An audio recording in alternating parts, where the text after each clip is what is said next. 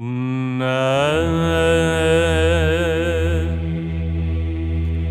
Αγάπη του κτίσαντος καταυγαστή στην ψυχήν του νόμου της χάριτος εκπληρωτής ακριβής εμφρόνος γεγέννησε όθεν και των πλησίων ως αυτόν αγαπήσας ήθλησας νικηφόρε και τον όφιν καθήλες